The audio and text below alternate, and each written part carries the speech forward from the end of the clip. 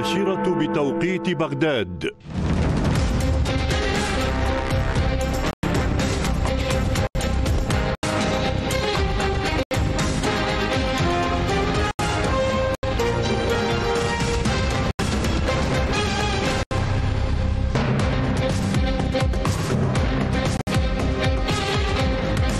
حصادنا الإخباري يتجدد عبر شرقية نيوز. أقدمه لكم أنا آلاء أبو شملات والزميل حسام الطيب. أهلا الاء واهلا بكم مشاهدينا في حصاد الشرقية نيوز من لندن والبداية من العناوين. التحاقا بالقاذفة الاستراتيجية B 52 غواصة USS النووية الأمريكية في مياه الخليج والسبب قصف السفارة وحماية الحلفاء من إيران. اتهموا الآخرين الرئيس التركي عدل القميص مع رئيس وزراء. نعم الرئيس التركي صديقي. صديق شخصي شاف صديق قديم وعدل القميص. شو المشكلة؟ هاي المشكلة بالعراق القميص دول خمسة مليار. خشية انكشاف عوراتهم الانتخابية هاجموا الحكومة. يقول الكاظمي بدل الاهتمام بالمنحة التركية انشغلوا بقميصي.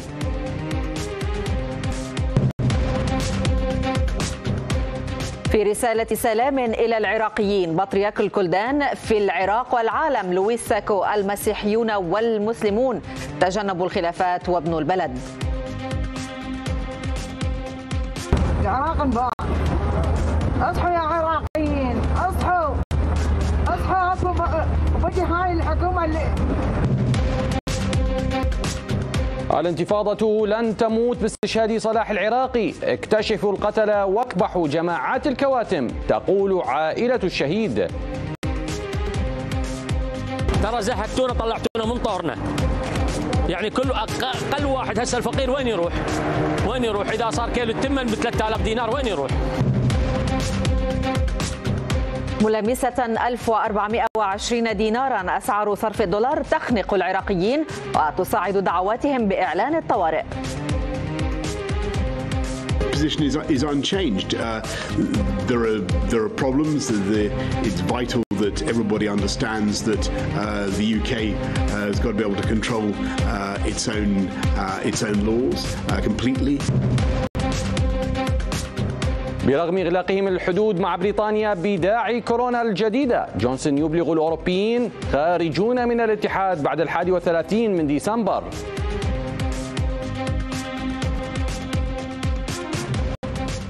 عبرت غواصة نووية أمريكية مضيق هرمز في عرض جديد للقوة حيال إيران مع اقتراب ذكرى مقتل قائد فيلق القدس الإيراني السابق.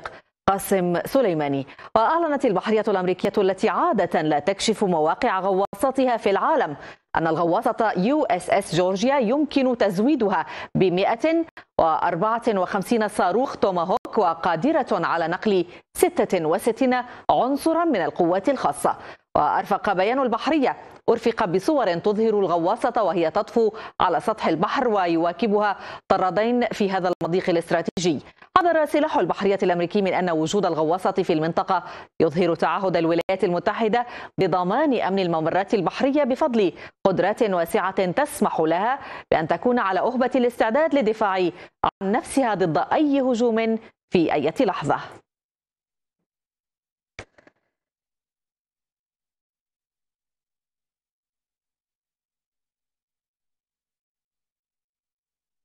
تأتي التحركات العسكرية الأمريكية في المنطقة بالتزامن مع ما كشفه مسؤولون مطلعون في بغداد أن الوضع بعد قصف المنطقة الخضراء بأنه خطير للغاية وأن الموقف منفتح على احتمالات كثيرة وأن بداية العام الجديد ستكون صعبة على جهات كثيرة.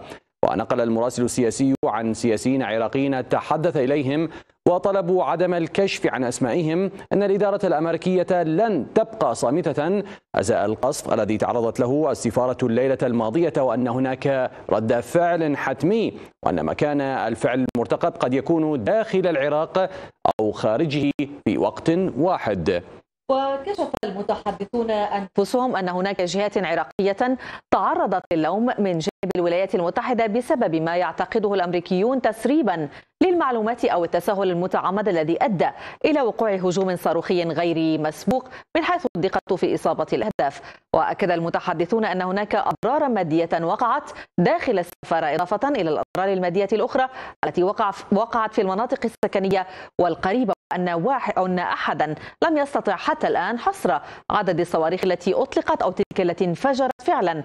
أو أسقطتها المضادات الأمريكية. ولفت المتحدثون الانتباه إلى أن دولا رئيسة في المنطقة على اطلاع باحتمال حصول رد فعل أمريكي خلال عشرة أيام بحيث تكون بداية الشهر الأول من العام الجديد ساخنة ومثيرة. وطبقا للمراسل فإن جميع المتحدثين أجمعوا على أن الوضع السياسي والعسكري في المنطقة شديد الحساسية وأن كل شيء متوقع.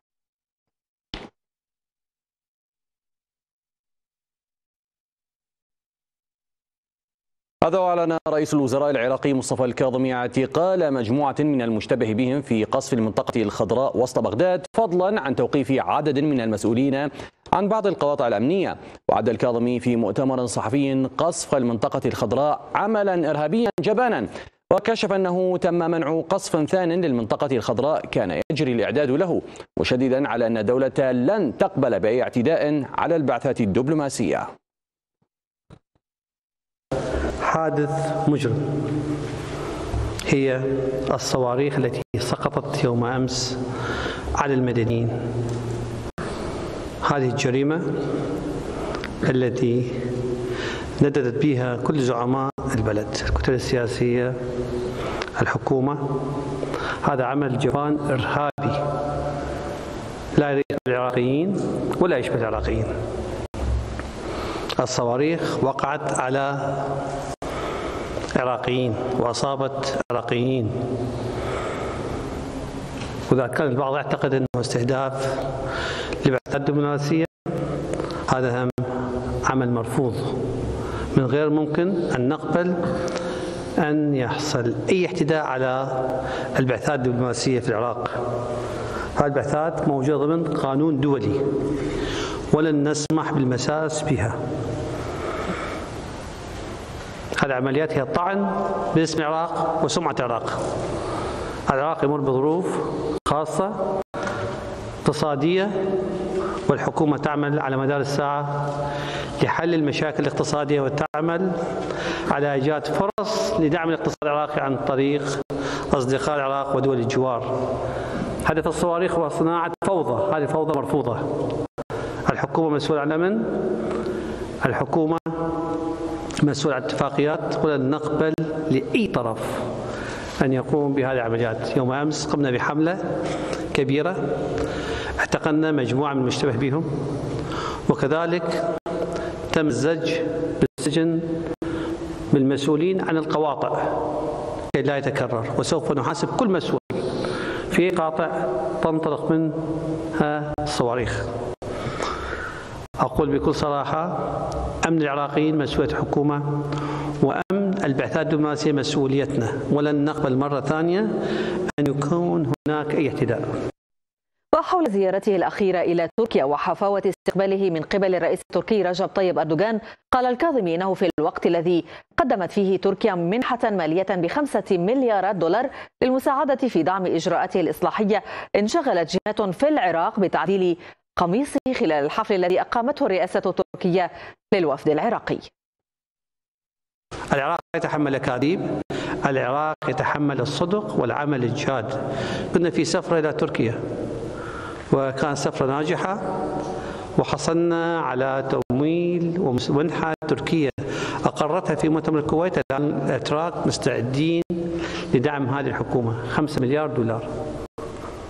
التهوا الآخرين الرئيس التركي عدل القميص مع رئيس الوزراء. نعم الرئيس التركي صديقي. صديق شخصي شاف صديق قديم وعدل القميص. شو المشكلة؟ هاي المشكلة بالعراق القميص له 5 مليار. الاحتفال الكبير كان يليق بالعراق ليس يليق به كن عن ثقة الاحتفال اللي قام به الرئيس التركي هو للعراق ليس المصطفى الكاظمي. وحول موازنة عام 2021 قال الكاظمي أن هناك من يخاف من نتائج الانتخابات وانكشاف عورته فأخذ يهاجم الحكومة بحجة أن الموازنة التي تم قرارها تستهدف الفقراء. وأوضح الكاظمي في مؤتمر صحفي أن الموازنة ليست تقشفية بل إصلاحية وأنها عرضت على الكتل السياسية ودعمتها. هناك من يخاف من الانتخابات أن تنكشف عورة هذه الجماعات. فبدأوا يصنعون من الفوضى تحت عنوان الموازنة. هذه الموازنة التي عبر عنها البعض موازنة تقشفية. لا هي ليست تقشفية إنما موازنة إصلاحية.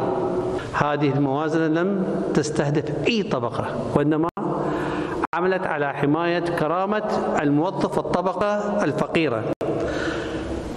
هذه الموازنة لن تمس رواتب أي موظف من الطبقات الدنيا الذي يشكلون أغلب موظفي العراق. أطمنهم أطمئنوا. لا تصدقوا هذه الأكاذيب. لا تصدقوها. حقيقة أقول هذه موازنة عملية إصلاح لنظام سياسي أنتجته الظروف الصعبة بالسنين الماضية. أنتج وضع صعب سوء إدارة وفساد أنتج وضع اقتصادي صعب بسبب ظروف كورونا وانهيار أسعار النفط. فحطينا موازنة تحمي شريحة الفقراء وتبحث عن فرص عمل للفقراء. الطرف المستهدف في هذه الموازنة هي الطبقات العليا في الدولة الرئاسات الثلاث وطبقة الوزراء. تنفرض ضريبة عليهم بنسبة 40% أما طبقة المحرومين؟ رواتبهم 500 ألف ونزولا لم تمس درهم واحد. وكذلك اللي راتب مليون لم يمس إلا بشيء رمزي. وتأتي تصريحات الكاظمي بالتزامن مع بدء مرشحين حملات انتخابية مبكرة اعتمادا على المال السياسي عبر الأموال التي جرى الحصول عليها عبر ما يجري من استحواذ على المال العام بطرق غير مشروعة. أثار السباق الانتخابي بالمال السياسي غضبا واسعا في مواقع التواصل الاجتماعي العراقية والتي تنبهت مبكرا إلى محاولة سياسيين فاسدين مشهورين بالاحتفاظ بامتيازاتهم ومواقعهم في المرحلة المقبلة بما في ذلك الاستعداد لتزوير الانتخابات والتأثير فيها اعتمادا على المال الحرام.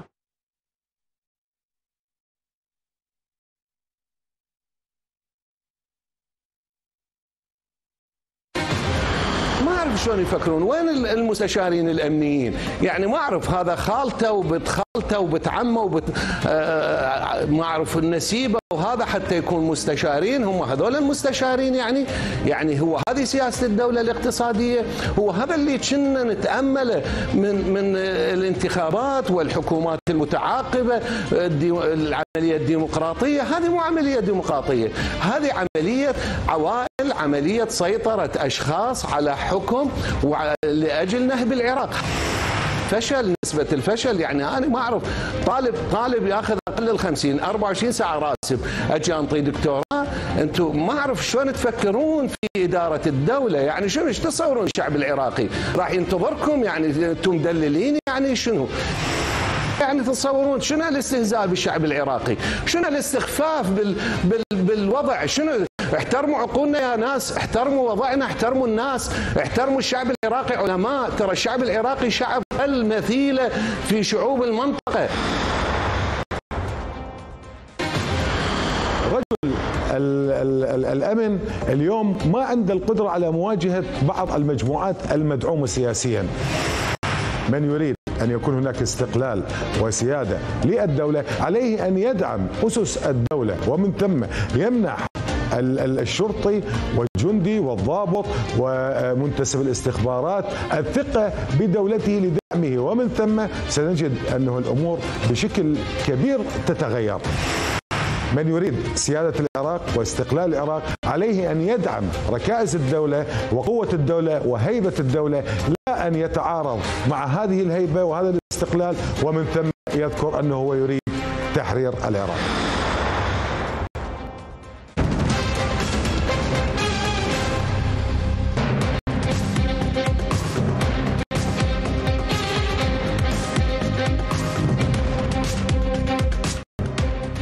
التحاقا بالقاذفة الاستراتيجية B 52 USS النووية الأمريكية في مياه الخليج والسبب قصف السفارة وحماية الحلفاء من إيران.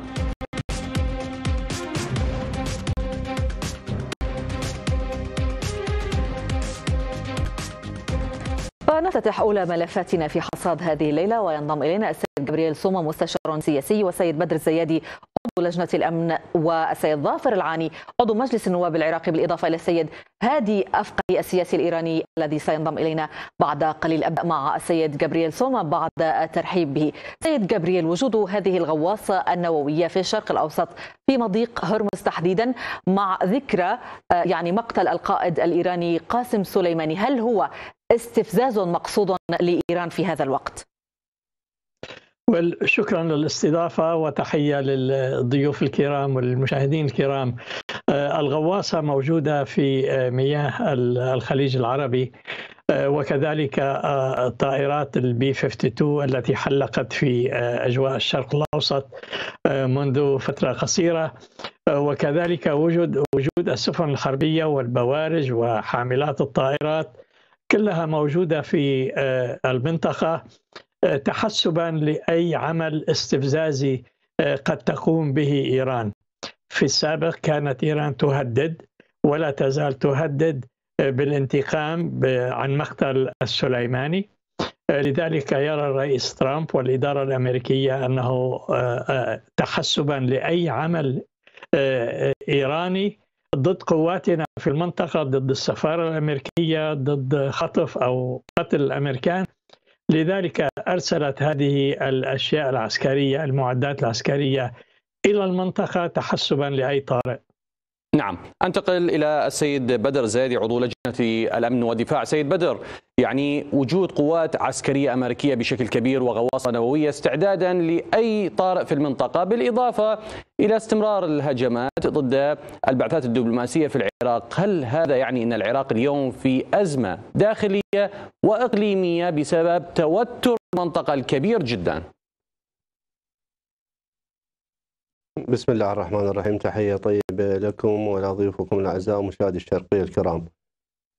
طبعا الوضع في العراق الأمني غير مطمئن وخاصة بعد التطورات الأخيرة والقصف الذي حدث يعني يوم الأحد ليلة الأحد على المنطقة الخضراء ولاحظنا يعني حتى نوعية الصواريخ التي أطلقت هي أكثر حداثة وعبارة عن قاذفة أنبوبية مطورة واستطاعوا أن يدخلوا فيها إلى منطقة الرشيد يعني.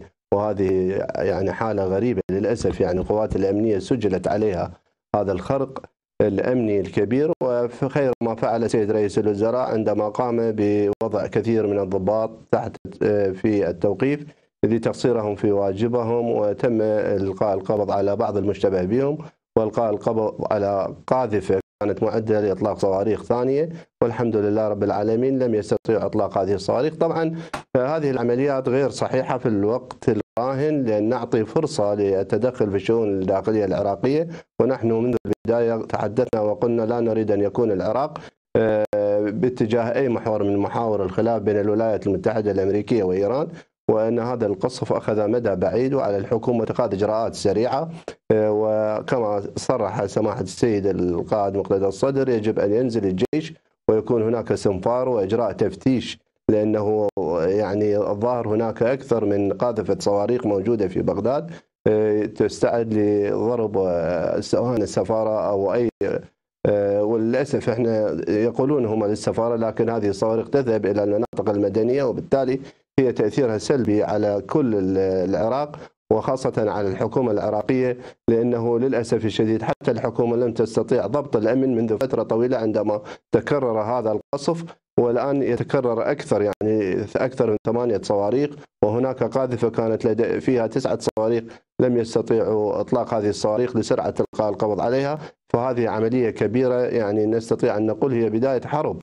واليوم أعطينا فرصة يعني للولايات المتحدة الأمريكية أن, أن تقوم بحماية سفارتها وتتدخل وأن الحركة التي قامت بها بإرسال غواصات أو طائرات ب 52 طبعا إحنا نعلم اليوم في الخليج كثير من القواعد العسكرية الأمريكية تستطيع ضرب أي منطقة آه، تراها مناسبة لأنها لها القدرة والقابلية ولكن آه، نحن نريد تجنب العراق أن يكون ساحة للاقتتال الداخلي أو منطلق لضرب آه، طبعا المصالح سواء الأمريكية والإيرانية لكن للأسف هناك عناصر تريد أن يكون العراق فيه فوضى وبالتالي طبعا الحكومة يجب أن تكون جادة وتتخذ إجراءات سريعة حتى لا نعطي فرصة للتلاعب بالأمن الداخلي العراقي نعم. ونعطي فرصة لكثير من ال- الأعمال التخريبية أو لخلق فوضى في بغداد العاصمة حتى نعطي فرصة لقوات أجنبية التدخل في بغداد أو في العراق.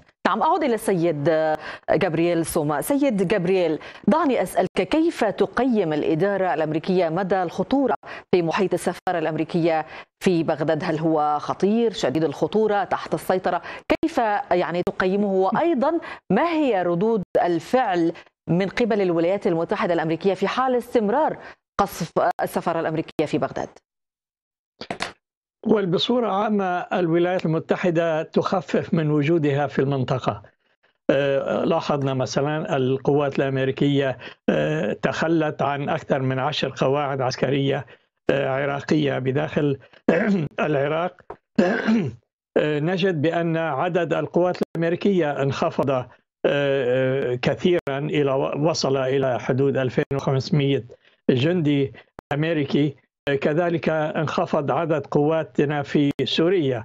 آه، لذلك يبدو بأن ال ال ال هذا الفراغ الذي تتركه الولايات المتحدة في آه، في المنطقة قد يسده عدة عدة دول قد تسده عدة دول منها مثلا العراق يزداد نفوذها آه، إيران عفوا يزداد نفوذها آه، في العراق. آه، إيران تمول وتسلح وتدرب ميليشيات.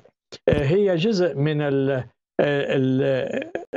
الحشد الشعبي ولكنها بالفعل آه، آه، تتلقى التدريبات تتلقى ال- ال- الأشياء العسكرية الأوامر العسكرية ليس من الجيش العراقي ولكن من القيادات الإيرانية. هذه الميليشيات هي التي تشكل تهديدا لأمن العراق ونجد ذلك التهديد على الصعيد آه، الاقتصادي الذي يتدهور آه، رويدا رويدا في العراق. آه، العراق تعتمد على آه، الدخل من البترول. 95% من دخل العراق هو من من البترول. ولكن انخفض السعر لما كان 100 دولار كانت آه، العراق في وضع ممتاز جدا ولكن اليوم وصل إلى حد- بحدود 40 45 دولار آه، هذا لا يكفي لتغطية رواتب الموظفين مثلا. ولذلك وجدنا بأن آه، القيادة العراقية طلبت مساعدات من تركيا ولبت تركيا هذا الطلب. آه، كذلك يوجد تهديد أمني آه، في العراق. ونرى ذلك من خلال ال- ال- القتلى الذي نسمع عنهم تقريبا كل يوم في العراق. هذه أمور تشير يعني إلى آه، تدهور الوضع الأمني أيضا في العراق. نعم. أنتقل إلى ضيفي السيد ظافر العاني عضو مجلس النواب العراقي عبر الهاتف. أهلا بك سيد ظافر. وبداية اليوم الحكومة العراقية قد تكون بين أطراف متنازعة إيران والولايات المتحدة خاصة في المنطقة. ما هو دور مجلس النواب في التشريع للقوانين التي تعاقب كل من يتدخل في هذا الصراع الإقليمي اليوم؟ آه، خليني أقول لك إنه ابتداء إنه يعني دأبنا على إنه إيران دائما تستغل ما يسمى بالفترة الانتقالية.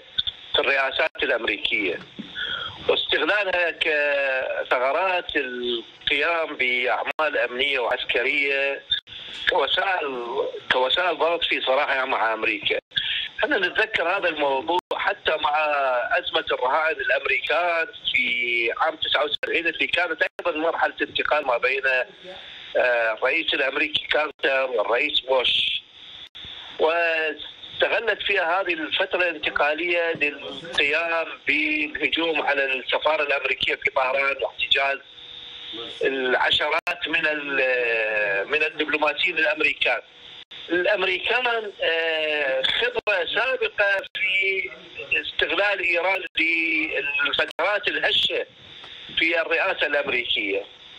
وأنا أعتقد إنه هذا الاستعراض العسكري اللي تستخدمه الولايات المتحدة هو لاظهار القوة استعراض عضلاتها امام إيران في أنها فيما لو قامت بعمل عسكري آه، مباشر ضد المصالح الأمريكية فإنها ستلقى عقابا شديدا. ولا شك إنه الصواريخ البارحة اللي كانت موجهة ضد السفارة الأمريكية كانت موجهة ب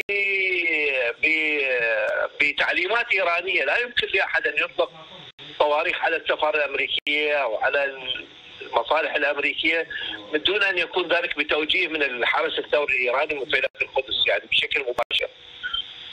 ليس مقنعا سواء كان التصريحات التي صدرت من إيران وهي تندد أو التنديدات التي صدرت من الميليشيات في العراق وهي تحاول ان تنهى بنفسها عن هذا العمل الإرهابي. وأنا أعتقد إنه يعني مجلس النواب يعني لا عدنا إلى سؤال جنابك يعني مجلس النواب يراقب هذا الموضوع ووضح للحكومة انه ان أن توصيفها بانه هذه أعمال خارجة عن القانون ليس كافيا وإنما هو عمل ارهابي وهو ما تداركه السيد رئيس الوزراء بوصفه اليوم لما حصل إنه عمل إرهابي.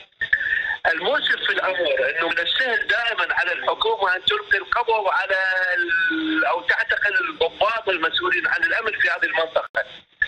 ولكن ليس من السهل عليها ان أن تودع الإرهابيين هؤلاء يعني الميليشيات السجن.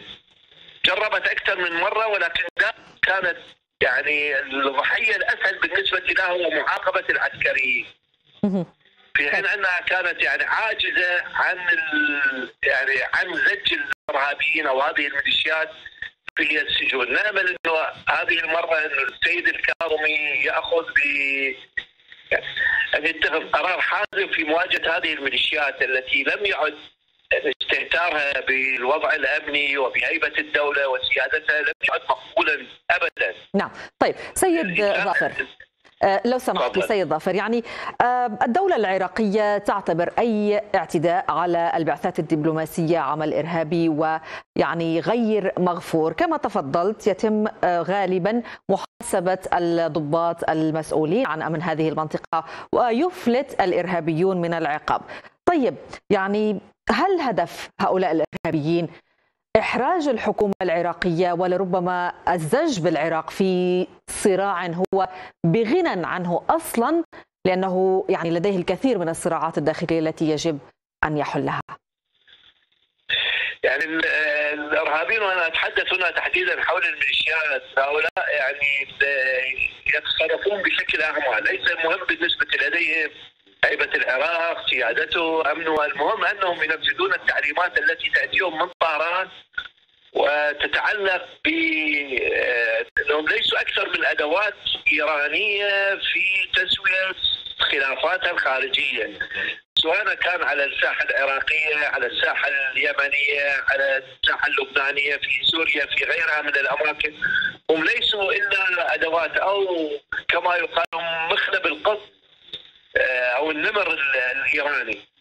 أنا أعتقد إنه يعني حان الوقت لأن تتخذ الحكومة إجراءات رادعة حقيقية لمعاقبة هؤلاء. عدم معاقبتهم أو النصيحة التي قالها أحد قادة الميليشيات إنه على الحكومة أن تغلس أو أنه يعني تدير ظهرها لهذه الأعمال العسكرية أنه هذه الاستماع لمثل هذه النصائح يعني مهين جدا بحق سياده العراق سمعة العراق الدولية. الدول صحيح دول العالم أنه يعني لا تعتبر أنه هذه الأعمال العسكرية التي تجري على الأرض العراقية إنها أعمال عراقية. ولكنها يعني وإنما هي أعمال إيرانية ولكن هذا لا يكفي. يعني أنه سيقال أنه العراق مسلوب الاراده وإنه العراق يعتبر ساحة ملحقة بإيران وإنه ليس أكثر كما يقال من ضيعة إيرانية تستطيع أن تستخدمها لرمي نفاياتها. وهذا أمر يعني لا نعم لا, لا يليق بالعراق لا بحكومته لا بتاريخه لا بحضارته لا بشعبه لا بأمنه ولا استقراره استخدام العراق بكونه كيس الرمل الذي يمنع عن إيران أي هجوم. أعتقد إنه يعني يعني هذا الدور ينبغي أن ينتهي الآن. أشكرك أشكرك جزيل الشكر. السيد بدر الزيادي عضو لجنة الأمن. شكرا. أو, أو عذرا السيد ظافر العاني عضو مجلس النواب العراقي. اعذرني سيد ظافر. شكرا لوجودك معنا.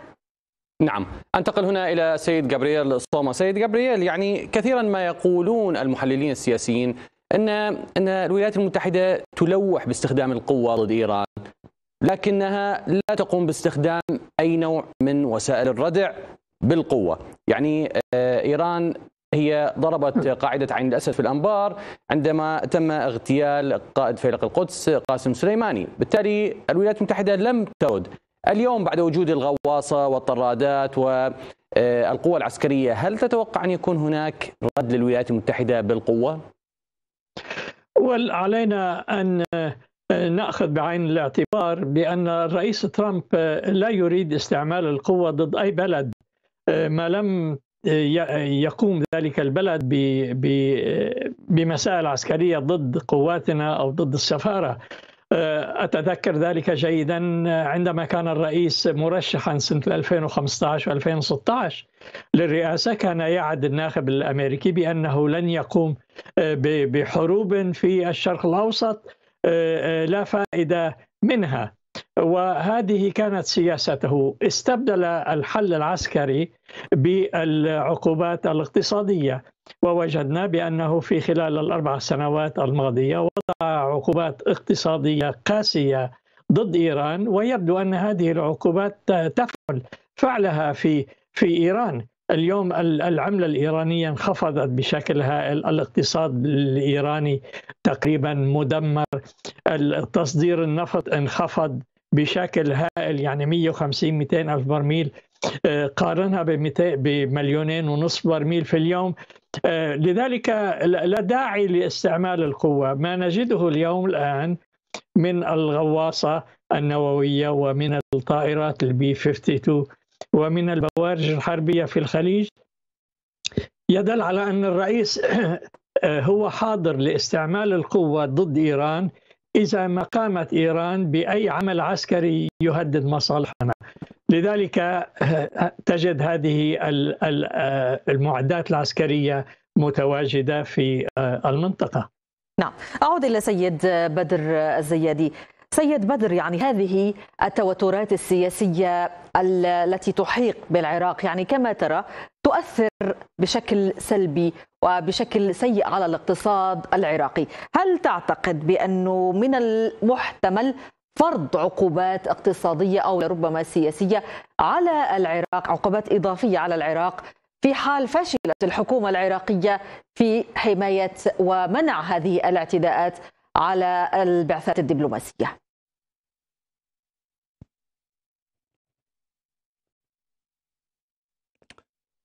نعم طبعا كل شيء متوقع. يعني آه، مسؤولية الحكومة العراقية حماية البعثات الدبلوماسية آه، ولكن للأسف طبعا تكررت هذه العمليات ولم تستطيع الحكومة آه، القيام بواجباتها بصورة صحيحة لأن تكرار القصف اليوم على البعثات الدبلوماسية وعلى المنطقة الخضراء وعلى المدنيين يعني وتظهر الحكومة بالشجب يجب عليها أن تقوم بدور كبير.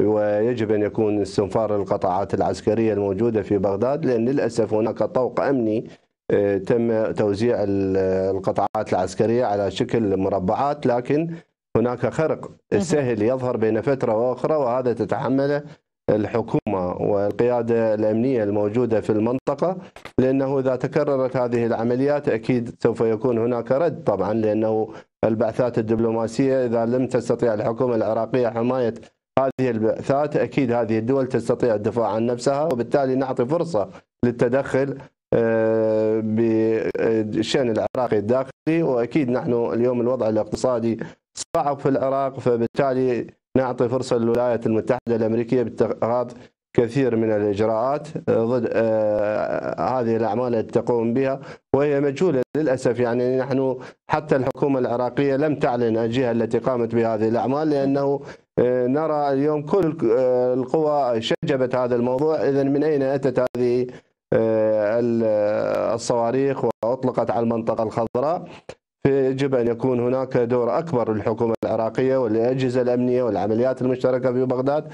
حتى نقطع الطريق على الذين يريدون جر العراق إلى المحاور أو لعبة المحاور لأن أنتم تعلمون هناك شد وجذب بين الولايات المتحدة الأمريكية وإيران من أجل الضغط على إيران لأن إيران اليوم ذاهبة باتجاه مفاعلها النووي أو الاتفاق النووي أكيد يكون هناك ضغط عليها نحن لا نريد أن نتدخل أو أن يكون ساحة للدولتين فبالتالي يجب ضبط النفس ويجب على قواتنا الأمنية أن تقوم بواجباتها بصورة صحيحة وتلقي القبض على أي قوة أو أي جماعة تقوم بإطلاق صواريخ على المنطقة الخضراء أو على البعثات الدبلوماسية لأن عملية التكرار مرة أخرى يعني معناها العراق غير قادر على حفظ الأمن وبالتالي نعطي فرصة للتدخل بالشؤون الداخلية ويجوز حتى نزول قوات لحماية آه، هذه البعثات الدبلوماسية. أشكرك جزيل الشكر السيد بدر الزيادي عضو لجنة الأمن وكل الشكر للسيد جابرييل سوما المستشار السياسي. شكرا جزيلا لكما.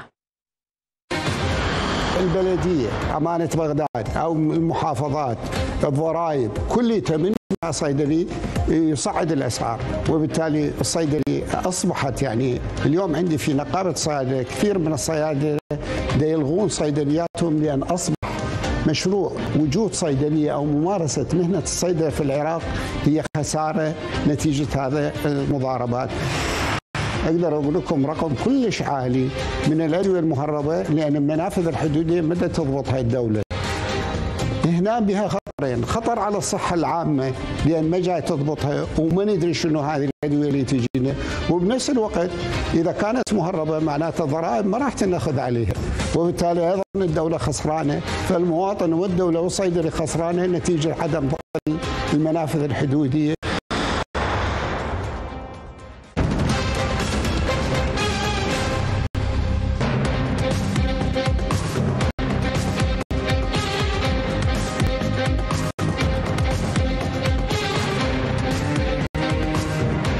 والآخرين رئيس التركي عدل القميص مع رئيس وزراء نعم رئيس التركي صديقي.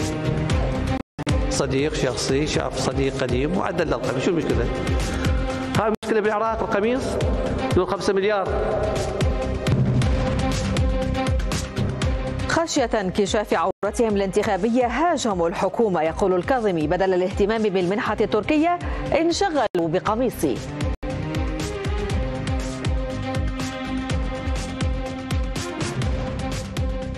صوت مجلس الوزراء العراقي على مسودة موازنة عام 2021 بقيمة 150 تريليون دينار عراقي أي ما يعادل 103 مليارات دولار بعجز يتوقع أن يبلغ 63 تريليون دينار أي ما يساوي 43 مليار دولار.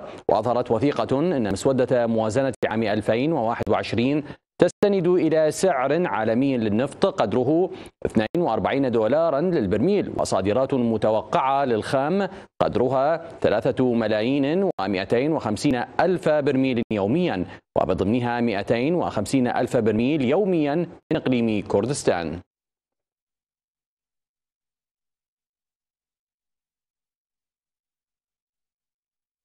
وأكد المتحدث باسم مجلس الوزراء العراقي وزير الثقافة حسن ناظم أن الحكومة طبقت الورقة البيضاء في موازنة 2021 مشيرا إلى أن هدف الحكومة في هذه الورقة هو الإصلاح ومعالجة التركة الاقتصادية السابقة. أؤكد أنها حرصت على حماية الشرائح الهشة في المجتمع العراقي. وربما قست على رواتب الدرجات العليا كما تعلمون الآن نسبها التي بلغت 40% من الرئاسات و30% بالنسبة للوزراء والنواب و25% بالنسبة للمدراء العامين ولم تتعدى خط 8% لمجمل رواتب الموظفين الاعتياديين. هذا فقط للتذكير بأن هدف الحكومة ورؤيتها في الورقة البيضاء هو الإصلاح الاقتصادي.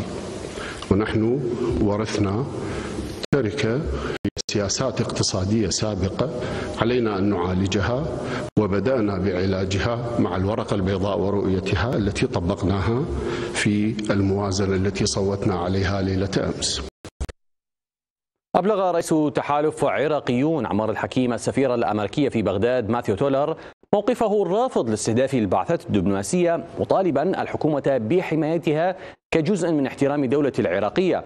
وجدد الحكيم خلال لقائه تولر ضرورة دعم العراق لخروجه من أزماته مضيفا أن الانتخابات المبكرة وسيلة لتحقيق الإصلاح مع ضرورة توفير الأمن الانتخابي لاستعادة الثقة بين الجمهور والعملية السياسية.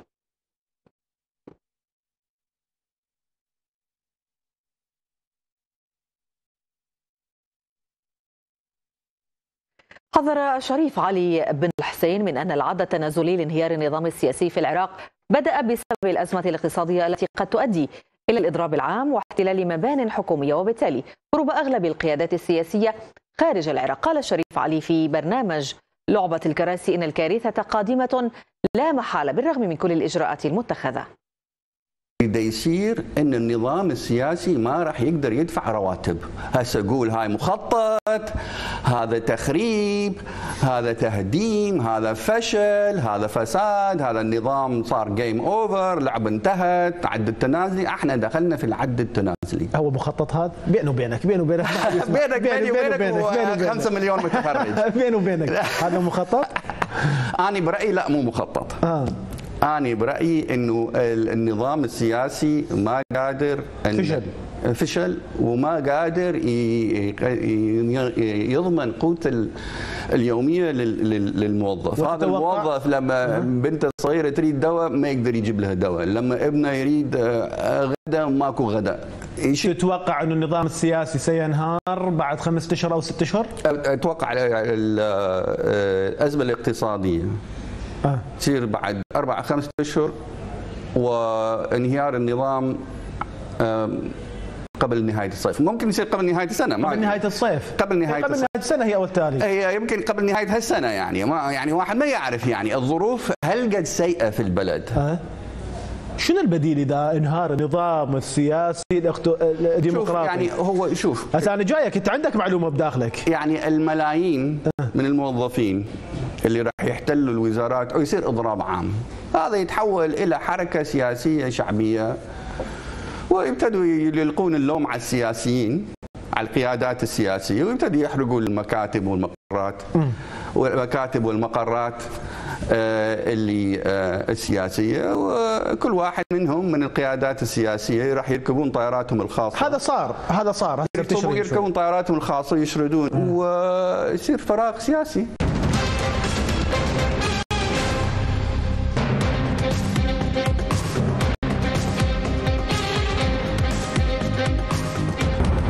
انباع اصحوا يا عراقيين. اصحوا اصحوا اكو بجي هاي الحكومة الانتفاضة لن تموت باستشهاد صلاح العراقي. اكشف القتلة واكبحوا جماعات الكواتم تقول عائلة الشهيد. وجهت عائلة الشهيد صلاح العراقي نداء إلى السلطات العراقية كافة وإلى الجهات الأمنية غير المخترقة. تطالبها بالكشف عن هوية قتلة الشاب الذي أمضى عاما كاملا في ساحة التحرير قبل اغتياله بالكواتم. وأكدت عائلة الشهيد الذي اغتيل في منطقة بغداد الجديدة قبل أيام أن الانتفاضة لن تموت وأن استشهاد صلاح العراقي سيفجر غضبا لا يزال قبل محاكمة القتلة. الجهات الأمنية الشريفة اللي هي عراقية بحتة مو مخترقة. لأن أكو مخترقة. وهاي المخترقة هي اللي قاعدة تلعب بالعراق. يمنى ويسرى. نريد نريد الشرفاء اللي هم بالجهات الأمنية كافة ينتبهون على هذا لأنه العراق في هاوية وراح تثور ثورة ترى. والله العظيم ما تلقون نفسكم. لأن العراق العراق انتهى من الضيم الفقر والنوبه الدولار بدل تتلاعبون بهم يمنى ويسرى. ليش هالشكل؟ وبعدين تجون تقتلون أولاد هو هسه اكو أمان؟ العراق انباع. اصحوا يا عراقيين. اصحوا. اصحوا بجي هاي الحكومة اللي بجي هذول أولاد الزنا. اريد اقولها. اني ابني يتم له أربعة. ليش؟ ليش؟ سوى هو كلمه ورفض وجهاء وشيوخ عشائر شمر في بغداد الرد على الدم بالدم والمطالبة بفدية مقابل اغتيال أب لثلاثة أطفال مشددين على ضرورة أن يأخذ القض- القضاء مجراه العادل. قال المشاركون في حفل تأبين الشاب آه، الشهيد إن الغضب يتراكم لدى أهالي الشهداء ما ينذر بانتفاضة أكبر من سابقتها. هدفنا وغايتنا التغيير. ما نريد رتب نريد تغيير. غايتنا التغيير. صناعتنا انتهت. زراعتنا انتهت. مستشفياتنا انتهت. مستقبل ابنائنا انتهى. شنو اللي بقى عليه عندنا؟ إحنا كل شيء ما بقى عندنا. يعني كل المسؤولين اللي طلعوا بالتلفزيون. وعندنا برنامج لليوم يقولون يابا ال- ال- ال- الموازنة انتهت. اذا الموازنة انتهت. عوفوا الشعب عنا عوفوا الدولة. خلينا نشكل حكومة. إحنا 40 مليون عراقي. ما نقدر نخلي لنا 200 واحد يحكمون البلد بلد مو عاجز. عندنا أكفاء عندنا قضاة عندنا أساتذة عندنا خريجين. حمال ومع كل احترام للحمال حمال إذا يلزم خزينة العراق يحول العراقيين من حفاظ إلى خير. بعد كافر الليل يعني نموت خلي نموت. يجي لك واحد يقول لك والله ساده أبو الحزب يشوف أبو أحمد يطقه طلقة مو لا أنا قابل انضرب مو طلقة. قابل أموت من أجل أن اضحي لهذا الجيل المستقبل. هذا شنو ذنبه؟ هذا شنو ذنبه بعد عشر سنوات؟ وين يروح؟ بيا متاهات يضيع؟ إحنا تعداد سكاننا اليوم 40 مليون. بالسنة إذا ما نزود لنا مليون ونص. هاي المليون ونص وين تروح بالسنة؟ أبو أحمد. اجالنا وين تروح؟ وين تنطوا وجهين؟ أنا شرد من عندك المجال أنطيك إياه مو مو مو ساعه لا أنطيك إياه سنة. أوصل رسالة للي يحجون على المتظاهرين باوع عليه. البعض من العراقيين يقول لك لا حياة لمن تنادي. لا تدري الله شو يقول؟ سبحانه عز وجل معظم كتابه يقول إن لم تستطع المسلم الحقيقي إن لم تستطع بيدك بلسانك أضعف الإيمان بقلبك. عادت عمليات استهداف الناشطين من جديد لا سيما في ذي قار بعد أن استهدف مسلحون مجهولون منزلي ناشطين اثنين في تظاهرات الحبوب بعبوات ناسفة ما أدى إلى أضرار مادية من دون تسجيل خسائر بشرية. وقال ناشطون ان عبوه استهدفت منزل أحد الناشطين في التظاهرات بمنطقة الشرقية في الناصرية مساء الاثنين تسببت بأضرار في المنزل مضيفا أن عبوة ثانية استهدفت منزل ناشط آخر في قضاء دواي ولم تسفر عن أضرار بشرية سوى واجهة المنزل فقط.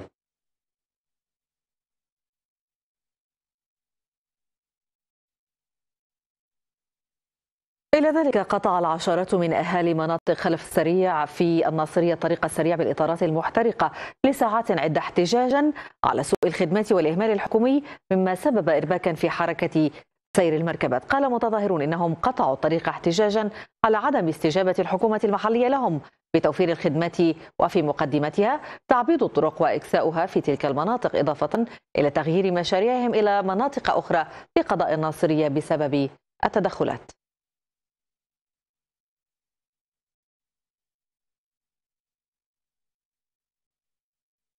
وتصاعدت في ذي قار حدة الصراع الإداري على منصب قائم مقام قضاء الرفاعي بعد ورود أنباء عن نية السلطات المحلية والاتحادية إعفاء القائم مقام الحالي من منصبه.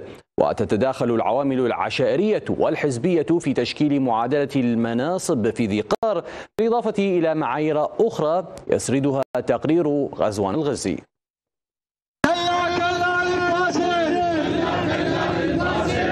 صراع إداري شعبي محلي في قضاء الرفاعي شمال الناصرية على إدارة القضاء.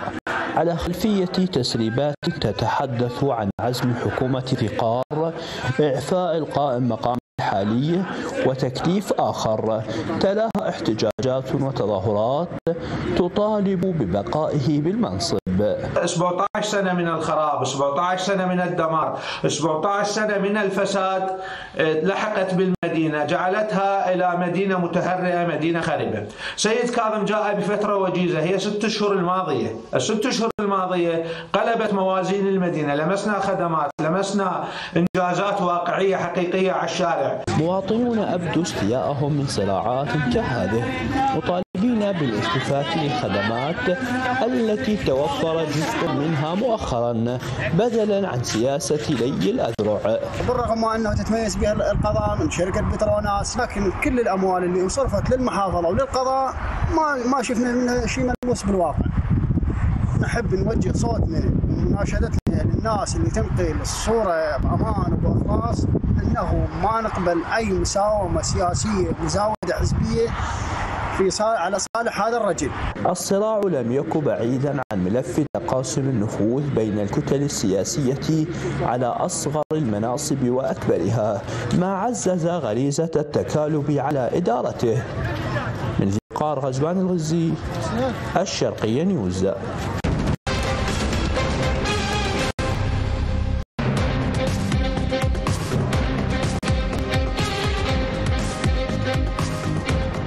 اتهموا الآخرين رئيس التركي عدل القميص مع رئيس وزراء نعم رئيس التركي صديقي صديق شخصي شاف صديق قديم وعدل القميص. شو المشكلة؟ هاي المشكلة بالعراق القميص؟ دول خمسة مليار. خشية انكشاف عورتهم الانتخابية هاجموا الحكومة يقول الكاظمي بدل الاهتمام بالمنحة التركية انشغلوا بقميصي.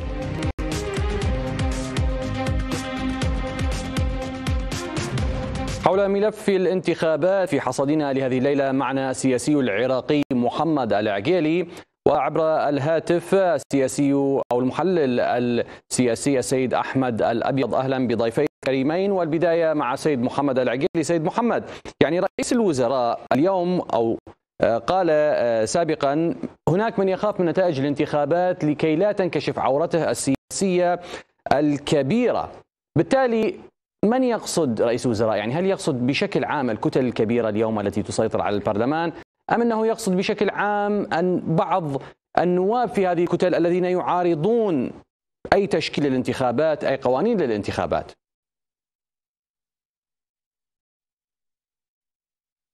شكرا جزيلا أستاذ حسام على هذه الاستضافة. تحية لك وإلى ست آلاء وإلى جمهور قناتكم الموقرة. يعني بالتأكيد حمى الانتخابات تنتقل سريعا ومقدما على جميع التوقيتات لأن السباق الانتخابي الحمى الانتخابية لها تداعيات وتأثير على الوضع العام بصورة عامة. فبالتالي الكتل السياسية أو من يريد أن يدخل ميدان ومضمار الانتخابات يحاول وبشتى الوسائل أن يغطي على النقاط الهشة، نقاط الضعف التي لديه ويحاول أن يكسب الجولة ويخرج بأقل الخسائر، فبالتالي هذا انعكس على موضوعه الاستهداف السياسي من قبل كتل سياسية إلى أي إجراءات حكومية تتخذ من قبل الحكومة، فبالتالي أستطيع يعني التعبير ووصف العراق بأنه قدر ضغط يغلي وهذا القدر لربما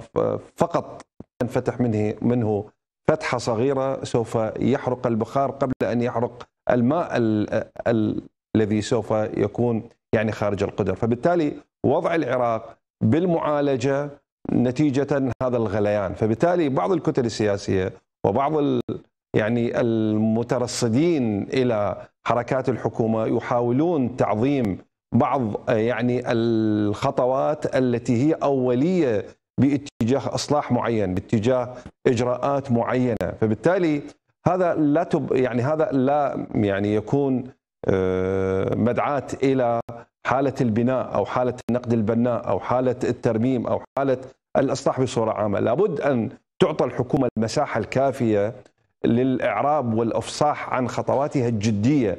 يعني ننتقل من حالة التنظير من حالة الإنشاء من حالة الكلام إلى الميدان العملي. الكتل السياسية يعني المتخذة من ال social media وال media كمنصات إلى يعني التسقيط السياسي إلى محاولة إرباك المشهد العراقي أكثر مما هو عليه الآن فتتخذ من هذه الخطوات التي تتخذها الحكومة يعني الحكومة يعني قد ما في خطوة أو ما في إجراء في أي يعني عملية في أي بروسس أن تكون هي ناجحة 100% لابد أن تكون هناك نسبة خطأ نسبة فشل معين لكن لابد أن تكون هناك نتائج. هذه النتائج يفترض أن تبنى. الكتل السياسية ليس لديها القدرة وليس لها الإمكانية وليس وليس لديها ما يمتعها أن تبني على النجاحات النسبية وإن كانت أقل من النصف، لكن هناك معاول تهديم إلى الدولة بطريقة مباشرة أو غير مباشرة نتيجة لهذا التسقيط السياسي،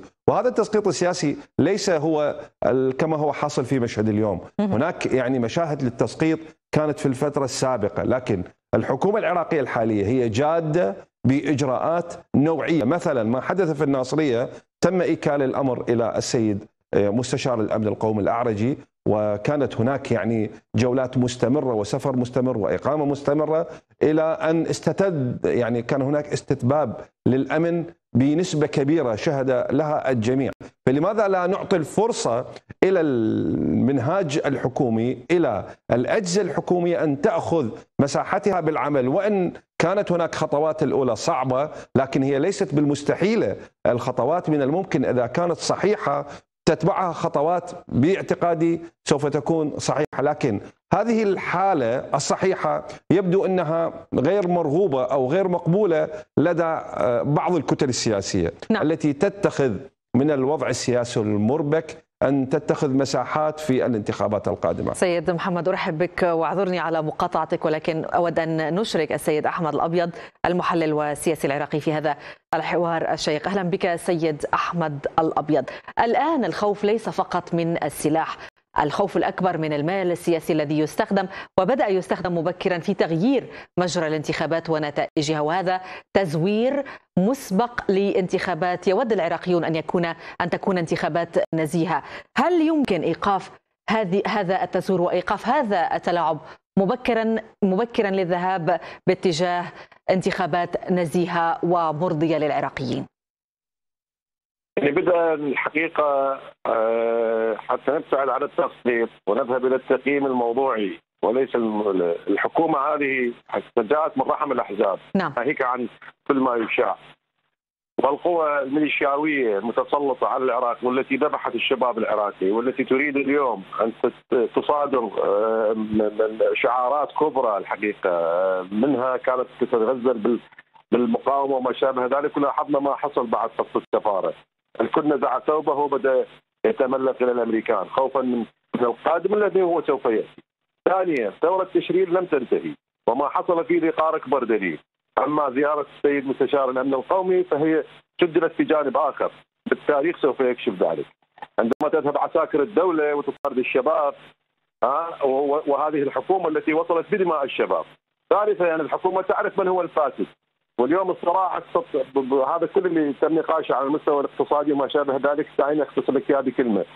صراع بين كتلتين سياسيتين كبيرتين وأنا عندي استعداد أسميهم لكن حفاظا على قناتكم وعلى جمهوركم وعلى وعلى منتسبيكم لأن هؤلاء قتلة يطاردون كل الإعلام الحر. كتلتين سياسيين، إحدى الكتل كانت تدير البنك المركزي تم أخذ المنصب هذا وأعطيه الاخرى حصل ما حصل وأصحاب المصارف الذين ساهموا بسرقة العراق لا أقول كلهم ولكن جلهم. 90 95% من أصحاب المصارف. هم سراق المال العراقي هم مهربين هم واجهات. هذا سجلي علي الكلام وأنا عندي استعداد أواجههم قضائيا وقانونيا. لأن هذا شعب العراق وهذا شعبنا. وبالتالي دعينا من المزايدات. هذا المال السياسي الآن الفارق بسعر الصرف هو لغرض تحشيد الانتخابات. ظنا منهم إنه المال سوف ينجيهم من العقاب. ولكن والنقطة الأخيرة والثالثة بالنسبة لي عتبي كبيرا على الشعب العراقي لا أقول على الشباب العراقي. على هذا الجيل الذي يستجدي مرتبه من الدولة وبالتالي هذه الدولة اليوم ركعته في هذا المرتب. عن طريق زيادة سعر الصرف عن طريق زيادة سعر أسعار البنزين عن طريق تقليل المخصصات ينتبه وزيادة الضرائب. نعم. هذا كله هو سياسة تركيا الحقيقة. ولا زال الشعب نائم ينتظر. نعم. ذلك يعني يصف الشعب العراقي. خلف ثوار تشرين ليس له أي خلاص. وسيبقى مذلول ويبقى راكعا. هذا هو المخطط السياسي اللي جاءت به الولايات المتحده الامريكيه وجاءت بهذه الطبقة السياسية من عام 2003 إلى اليوم، هذا النظام السياسي بائس، نظام عائلي للسقوط. مجرد حركة صغيرة سوف تظهر لنزع الشرعيه من الدولية سوف ينتهي هذا النظام. هذا هذا هذا ليس تنظير ولذلك قلنا ثورة تشرين لن ولن تنتهي وهي نعم. مستمرة والذي يعتقد إنها انتهت هو واهم نعم في صفحات السيد أحمد أود أن أنتقل إلى السيد محمد العقيلي، سيد محمد يعني آه، كما تفضل تفضل السيد أحمد إن هناك يعني فرق وتلاعب بالمال أي بمعنى هناك انتخابات قد تكون نزيهة لكن بمال سياسي فاسد يستخدمه بعض السياسيين لكي يتلاعبوا بنتائج الانتخابات وقد تكون شراء أصوات وما شابه ذلك، هل تتوقع أن الانتخابات القادمة ستكون بتغيير كبير رغم وجود المال السياسي أم أن المال السياسي سينتصر على كل التغييرات الموجودة أو المؤملة في الشارع؟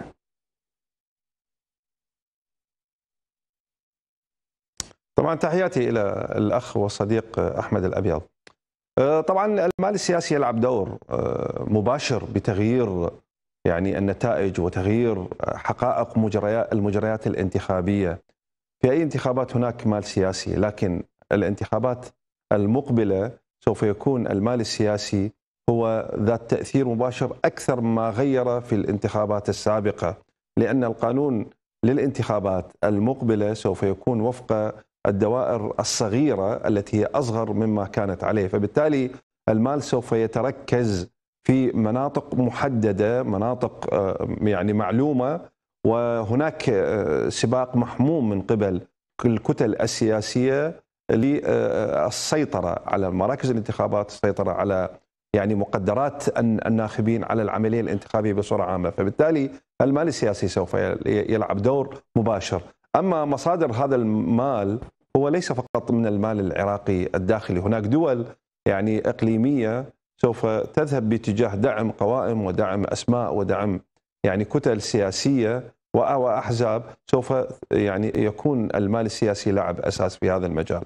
القضية الأخرى النتائج بتقديري سوف لن تتغير، يعني الخارطة السياسية الناتجة من الانتخابات المقبلة سواء كانت مبكرة أو غير مبكرة وأنا بتقديري سوف لن تكون هناك انتخابات مبكرة في الشهر السادس. لربما سوف يكون يعني دفعها إلى الشهر العاشر من سنة 21 أو دفعها أكثر. وبما أنه سوف يعني تتأجل أنا أعتقد سوف تأجيل يتبع تأجيل آخر. لأن المشهد هو يعني مسيطر عليه من قبل كتل سياسية. أي القرار السياسي داخل قبة البرلمان آلاء. هو مسيطر عليه من ذات الكتل التي هي لديها صراعات نعم. الخارطة السياسية القادمة سوف تكون من ذات النسيج السياسي لكن سوف يكون تغير نسبي هذا التغير النسبي سوف لن يضيف شيئا إلى المعادلة السياسية المقبلة، فبالتالي ذات الكتل التي هي كانت متنافسة سابقا هي لا زالت متمسكة بالحالة التنظيمية، أما الكتل الناشئة الجديدة التي خرجت من ساحات التظاهر، نعم هي أصوات جديدة، أسماء جديدة، لكن ليست لديها الإمكانيات والقدرة كما تمتلكها الكتل السياسية، فبالتالي وقت الانتخابات القصير هو لن يسعف طيب. الأسماء الجديدة، الكتل الجديدة التي من يعني المأمول عليها، ثانيا طيب. العفو نعم اعذرني ولكن دعني أنا. أنطلق من من نقطتك التي ذكرتها حول إمكانية تأجيل الانتخابات لأكثر من مرة وأتوجه بالسؤال إلى السيد أحمد الأبيض، سيد أحمد يعني تحذيرات كثيرة على مواقع التواصل الاجتماعي وفي على أرض الواقع من هذا المال السياسي، محاولات التزوير، شراء الذمم زرع من يشتري الأصوات والذمم هل تعتقد بأن الأجواء الآن جاهزة للانتخابات المبكرة أم أنها ستؤجل كما تنبأ السيد محمد العقيلي أو لربما يعني تلغى أو يعني لا تحصل أساسا يعني؟ طبعا خليني أضيف لذكر الأخ محمد كلام آخر حقيقة. هو ليس فقط البيع والشراء في في الوضع السياسي في المشهد السياسي. يتعلق فقط في المجلس النيابي وغيره وما شابه ذلك من مناصب الدولة. ولكن بيع والشراء أصبح بالإنسان العراقي الحقيقة نعم. ليس لدينا لا نجمل الصورة. هذا واقع ورثناه من 17 سنة من تراكم من فساد كبير جدا وخطير. مسؤولية السيد رئيس الوزراء أن يصالح الشعب العراقي. سوف يتورط حقيقة في كثير من القضايا هذه القوى السياسية جاءت به تنكيلا به. وأنا ذكرت هذا في أول يوم. شخصيا من خلال قناتكم له عندما نصب. بلد هذا التحايل الإيراني الفارسي العميق جدا. حقيقة يريد أن يقول لأمريكا أنتم جئتم بهذه المعادلة خرجتم عادل عبد المهدي وجئتم بالكاظمي هذا الكاظمي سوف نفعل به ما نريد. حقيقة والرجل يحاول ولكن لن يستطيع. أنا أقول لك لا انتخابات ولا محاسبة قتلة ولاحظ هذا الانهيار الاقتصادي هناك انهيار اقتصادي في البلد وليس مالي. فارق جدا رجل أكاديمي يجب أن يميز ما بين الانهيار الاقتصادي وما بين انهيار المنظومة المالية. هنا هذا هذا فعل الحكومة سعت من خلاله تريد أن تحسن دخلها حتى تسد المرتبات ولكن هذا لم يحصل حقيقة لأنه حجم الفساد يزداد مع هذا الموروث.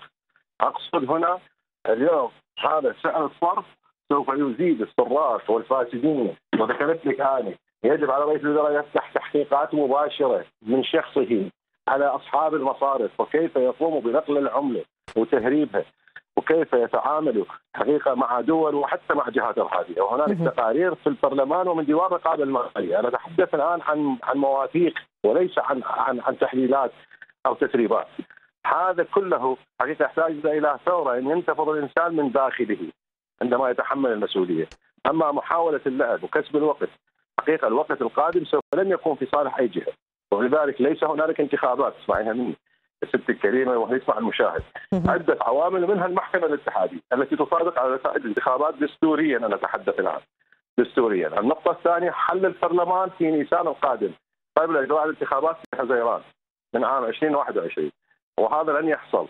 القوى السياسية هذه الموجودة خائفة مرتجفه من المستقبل. حتى وإن زورت الانتخابات هي تعتقد إنها سوف لن تحصل على ما تريد. هنالك صراع داخلي وتحديدا في البيت الشيعي والبيت السني وكذلك البيت الكردي. نعم. هذه القوى المتغانمة على السلطة تعرف الحقيقة تعرف أن استمرارها بهذا المسلسل من القتل والترويع والتجويع للشعب العراقي سوف لن يغنيها عما هو قادم. هذه حقيقة المشهد العراقي علينا أن نكون أكثر وضوحا وأكثر صراحة لكي نتخلص من هذه الطامة الكبرى التي سقطت على العراق منذ أكثر من 17 سنة. نعم أشكرك جزيل الشكر السيد أحمد الأبيض المحلل والسياسي العراقي وكل الشكر للسيد محمد العقيلي السياسي العراقي. شكرا جزيلا لكما.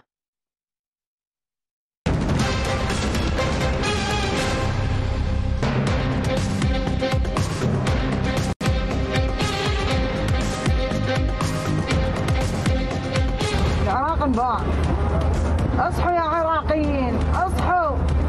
اصحوا اكو بجي هاي الحكومة اللي الانتفاضة لن تموت باستشهاد صلاح العراقي. اكتشفوا القتلة واكبحوا جماع جماعات الكواتم تقول عائلة الشهيد. ترى زهقتونا طلعتونا من طورنا يعني كل أقل واحد هسه الفقير وين يروح؟ وين يروح؟ إذا صار كيلو التمن ب 3000 دينار وين يروح؟ ملامسة 1420 دينارا أسعار صرف الدولار تخنق العراقيين وتصعد دعواتهم بإعلان الطوارئ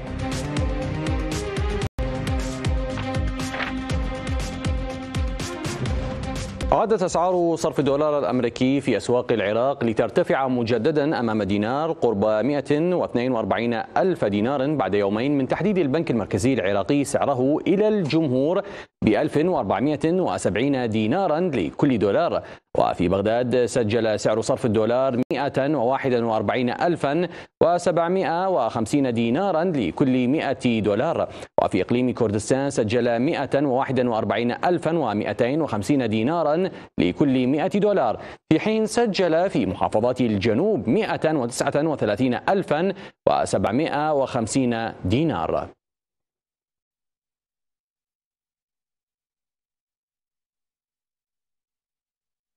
إلى ذلك دعا مواطنون في ديال الحكومة الاتحادية إلى تغليظ العقوبات على المضاربين بالسلع الغذائية الأساسية والتي سجلت ارتفاعا ملحوظا بسبب تذبذب صرف الدولار. ويقول خبراء التقاهم مراسلنا نهض الزيدي إن الحركة التجارية في الأسواق تراجعت بنحو 25% وأن تراكم الخسائر يوجب إيجاد حلول فورية. صرخات الفقراء وأصحاب الدخل المحدود والكادحين في محافظة ديالا تعالت بعد ارتفاع أسعار السلع والمواد الغذائية نتيجة ارتفاع سعر الدولار. مواطنون اتهموا جهات وصفوها بالمنتفعة بإرباك السوق واستهداف قوتهم ومصادر دخلهم. أثر علينا تأثير كبير جدا على السوق وأثر على المواد الغذائية بالخاص وإحنا نتكلم مو بس المواد الغذائية وإنما حتى الأدوية هاي طبعا كلها تصعد بسبب الدولار ترى زهقتونا طلعتونا من طورنا يعني كل أقل واحد هسه الفقير وين يروح؟ وين يروح؟ إذا صار كيلو التمن ب 3000 دينار وين يروح؟ شو ياكل؟ في خمسة أيام قدرت نسبة تراجع شراء السلع والمواد الغذائية بعشرين بالمئة وسط مطالبات بإيجاد حلول عاجلة من دون التأثير على قوت المواطن ومصدر دخله. هذا الدولار يأثر على المواطن استهداف الفقير. إحنا هذا الشيء ما نريده. كان الدولار 125 كان العالم كله مستقر. هسه يريد يتزوج ما يقدر يتزوج. الخطب تورط الذهب ب 385 ما يقدر عمي هذا الشيء. الفقير هو عيشته شغلات بسيطة فهذا الشيء ما يصير. الركود يخيم على الأسواق والحركة التجارية شبه متوقفة وأصحاب المحال يقولون إن خسائر فادحة لحقت بهم. للشرقية نيوز ناهض الزيدي محافظة ديالا. في الرأي شجاعة فائقة وفي الخبر سرعة فائقة وفي الصورة دقة فائقة. الشرقية نيوز اتش دي عبر نايل سات وعلى التردد عشرة ألاف وثمانمائة واثنان وتسعون. polarization horizontal symbol rate سبعة وعشرون ألفا وخمسمائة. FEC خمسة على ستة.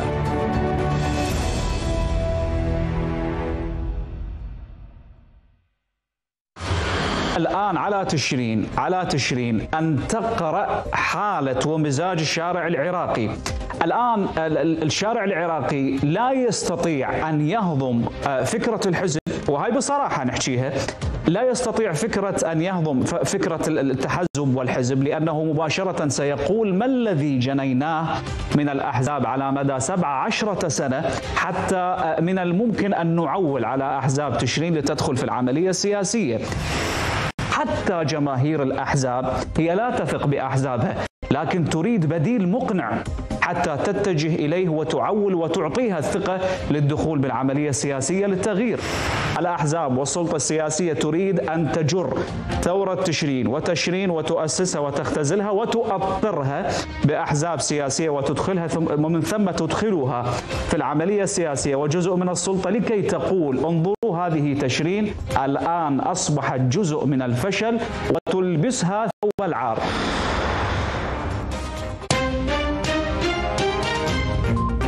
لندن. الشرقية نيوز برؤية جديدة.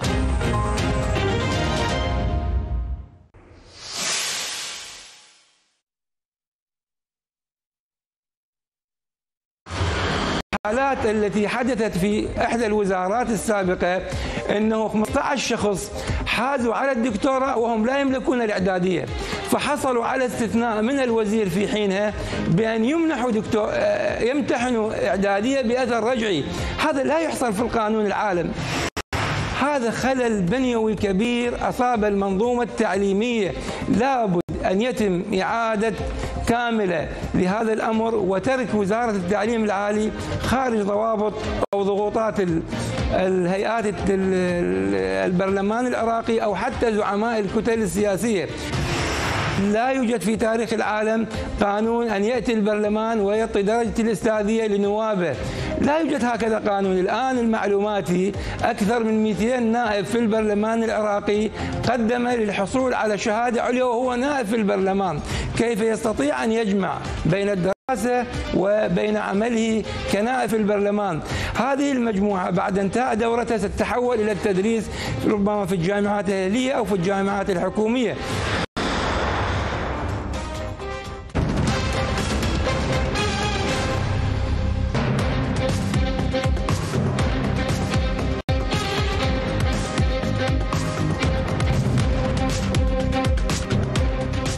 في في رسالة سلام إلى العراقيين. بطريرك الكلدان في العراق والعالم لويس ساكو المسيحيون والمسلمون تجنب الخلافات وابن البلاد.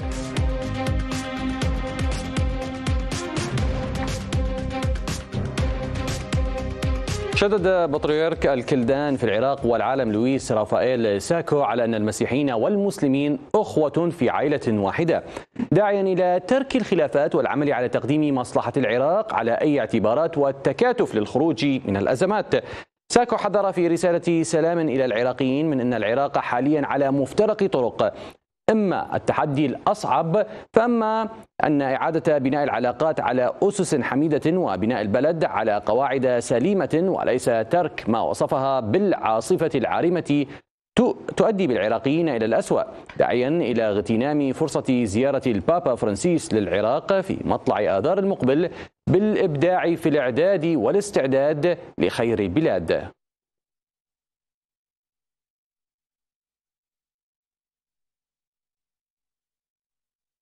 وينضم إلينا المطران توما داوود رئيس طائفة سريان الأرثوذكس في المملكة المتحدة.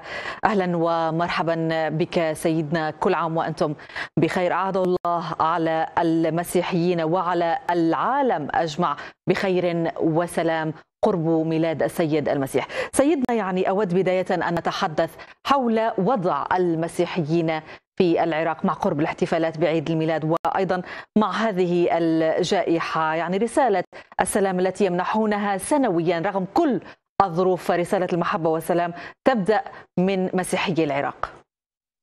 مساء الخير أهلا وسهلا شكرا جزيلا على الاستضافة وأيضا بدوري أقدم التهاني لكل المسيحيين ولكل العالم بصورة عامة بهذه الأيام المباركة عيد ميلاد السيد المسيح له المجد. الحقيقة في هذا العام العيد يختلف عن السنوات الماضية لأنه إحنا نعيش جائحة كبيرة ووباء خطير أصاب كل البشرية. لا فرق بين دين وآخر ولا بين قومية وأخرى بل أصاب كل الناس. لكن نحن في العراق أصابنا بشكل خاص رغم أننا نحن نعاني من اضطهاد داخلي آه، في العراق. والعراق اليوم منقسم إلى عدة فئات وعدة طوائف وعدة أحزاب وميليشيات وهذا يهدد أمن وسلامة العراق. وخاصة نحن نعتبر كأقلية وإن كنا نحن المكون الأصيل للعراق كشعب سرياني آرامي آه، كلداني آشوري لكن عددنا قل بسبب الاضطهاد بسبب الظروف الصعبة التي يمر بها العراق. على سبيل المثال هاي 17 آه، سنة من بدأ النظام الجديد ولم يتحسن البعض فقل عددنا كثير ويهدد وجودنا وخاصة الانقسام الذي يجري بين الحكومة العراقية والإقتتال على المناصب والتفرقة والتجزئة والمحاصصة. هذا لا يخدم لا مصلحة العراق ولا مصلحة المكونات الأصيلة في العراق. نعم. آه، أبونا يعني ك رأي من حضرتك كيف هو سيكون حال المكونات الأساسية في العراق اليوم بعد هذه الصراعات؟ كيف سيكون مستقبلها في العراق اليوم؟ وما هي الرسالة التي توجهونها لتحقيق السلام بين مكونات العراق الأساسية؟ الحقيقة نحن كمسيحيين في العراق نطلب أن يكون حكومة علمانية والعلمانية لا أقصد بها ضد الدين. حكومة مدنية تضمن حقوق المواطنين مهما كان دينه أو لونه أو قوميته نحن كلنا كعراقيين. هذا الشيء الذي سوف يحافظ على وجودنا ويحترم آه، خصوصيتنا لا بل يحترم كل العراقيين بمختلف فئاتهم. يعني المسلم عندما يصلي في الجامع له الحرية المسيحي يصلي في الكنيسة له الحرية وكذلك الصابئي واليزيدي لكن في الشارع أن نكون نحن عراقيين. القانون يسير على الكل. أنا أعبد في بيتي ما أشاء أعبد أعبد في كنيستي ما أشاء أعبد هذا خاص بي. لكن نحن نريد دولة سياسية قوية علمانية آه، آه، قانون مدني يحمينا. بهذا الوضع بهذه الأمور سوف يثبت وجودنا ونستطيع أن نمارس حقوقنا واجباتنا طقوسنا ونبقى في العراق. لأن العراق هو بلدنا ونحن من المؤسسين العراق نحن من سكان العراق الأصليين. فنتمنى الحكومة العراقية أن تكون أكثر واقعية وأكثر نظرة شاملة وأن تنظر إلى العراق كعراقي وليس نسبة إلى دينه أو طائفته حتى تضمن حقوق الجميع لأن ما المستفاد اليوم من الوضع في العراق؟ العراقيين كلهم يموتون يقتلون آه، حالة الفقر كبيرة في العراق آه، يعني الكل بحاجة إلى أمن وإلى سلام.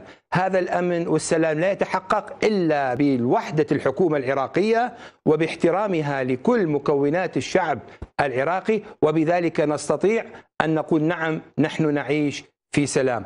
وخاصة هذه الأيام أيام عيد ميلاد السيد المسيح الذي هو رسول المحبة والسلام الذي جاء لكي يلقي رسالة الله للبشر هي السلام المحبة الوداعة اللطف التآخي قبول الآخر.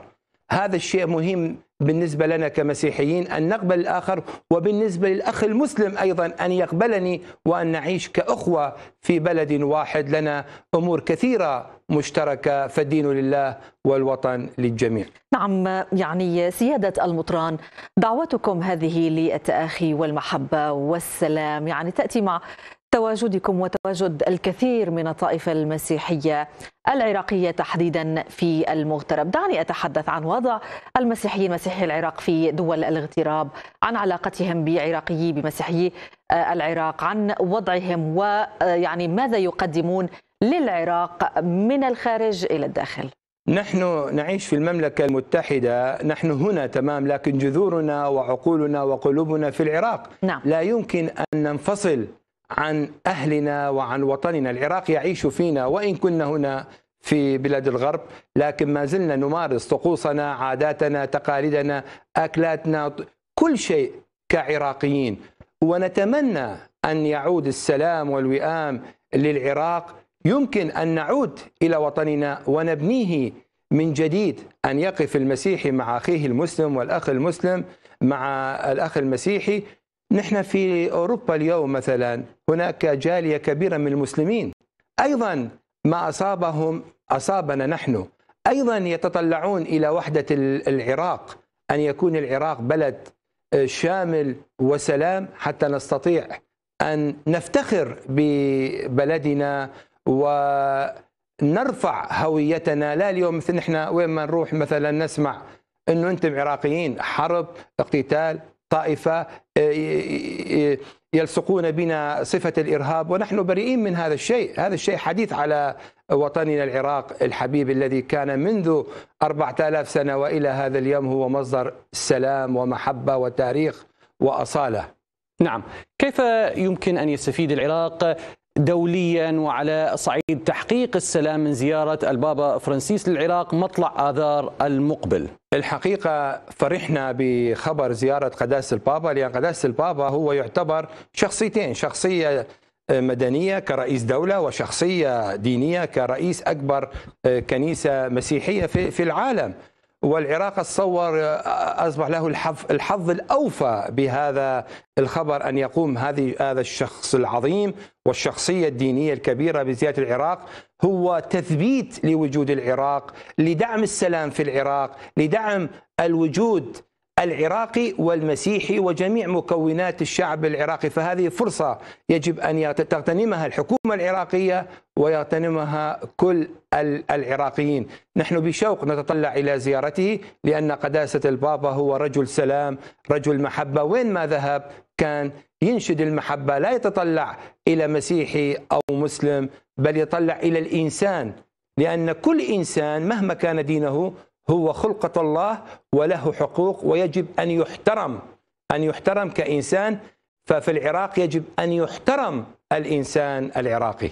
نعم أبونا المطران توما داود رئيس طائفة السريان الأرثوذكس في المملكة المتحدة شكرا جزيلا لك. في الرأي شجاعة فائقة وفي الخبر سرعة فائقة وفي الصورة دقة فائقة. الشرقية نيوز اتش دي عبر نايل سات. على التردد 10892 Polarization Horizontal. Simple Rate 27500 FEC 5 على 6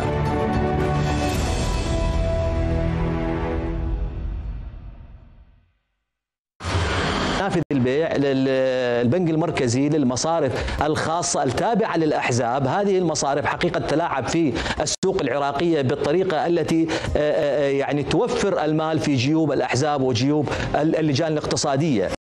أغلقت. أغلقت يعني بورصة الكفاح على 135 و500 هذا الفارق الكبير بين آه، يعني 16000 دينار في 100 دولار واضربها هذا وين يروح؟ يروح في جيوب ال ال ال ال يعني ال الأحزاب والمصارف التابعة للأحزاب.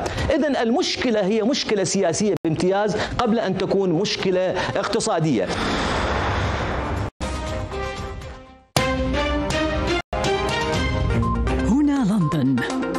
الشرقية نيوز برؤية جديدة.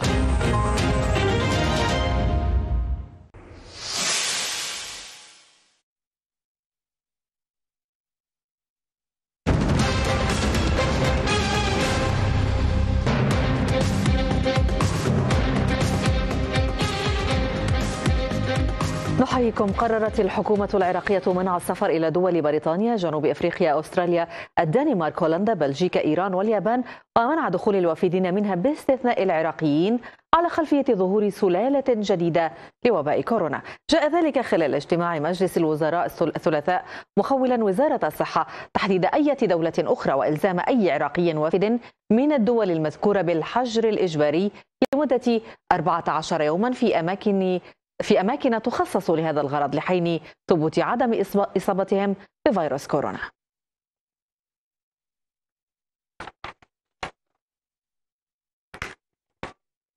وأعلنت الحكومة العراقية الاتفاق مع شركة فايزر على استيراد مليون ونصف مليون جرعة من لقاحها كوفيد 19 وذكر بيان لوزارة الصحة أن اللقاح الذي طورته فايزر مع شركة بايونتك سيصل إلى العراق في مطلع العام المقبل دون أن تذكر الوزارة الفئات التي ستوزع عليها اللقاحات أولا كما هو معمول في جميع دول العالم.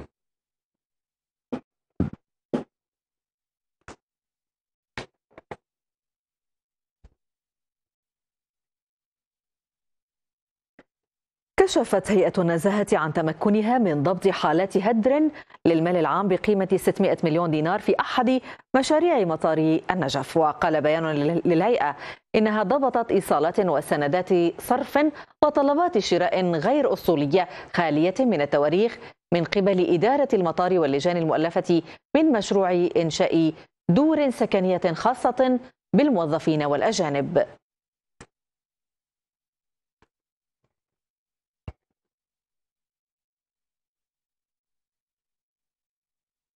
وجهت طائرات التحالف الدولي ضربات لمواقع تنظيم داعش في جبال بادوش شمال غربي محافظة نينوى. وقال مصدر أمني في المحافظة أن ضربات التحالف ركزت على أوكار التنظيم في المنطقة على خلفية تسلل مسلحيه مجددا إلى المنطقة.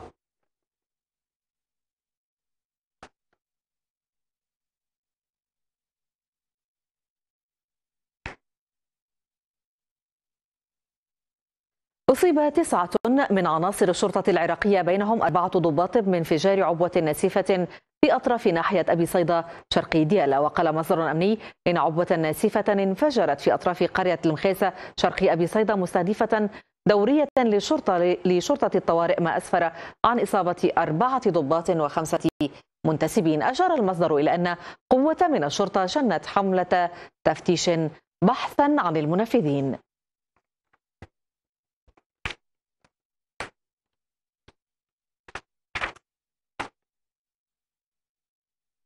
تستعرض الشرقية نيوز أبرز أحداث العام 2020 في محافظات العراق التي عاشت ظروفا استثنائية وذلك في سلسلة تقارير أخبارية عبر شبكة المراسلين في 16 محافظة.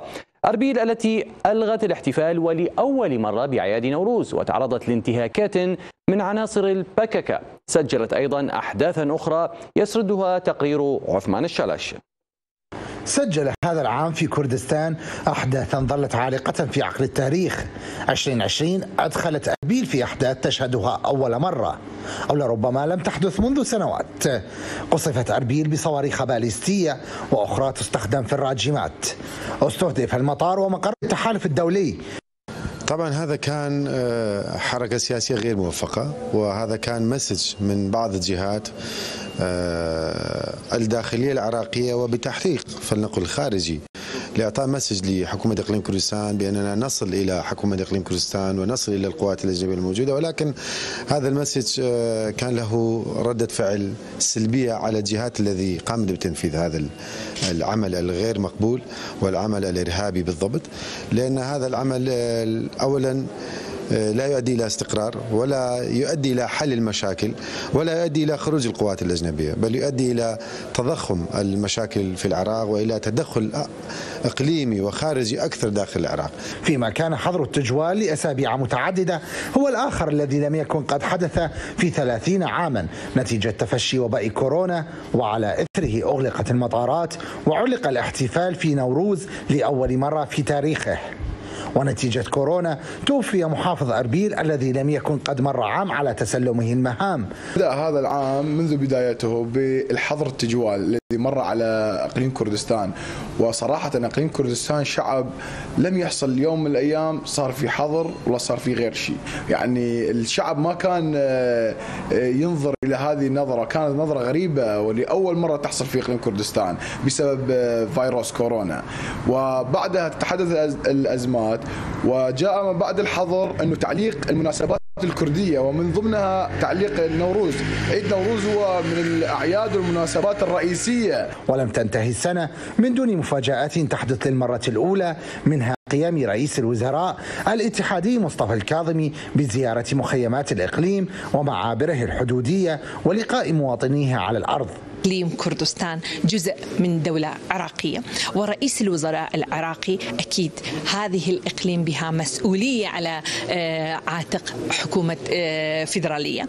وطبعا الشعب الكردي وخاصة بمنطقتنا بسليمانية نرحب بزيارة رئيس الوزراء العراقي.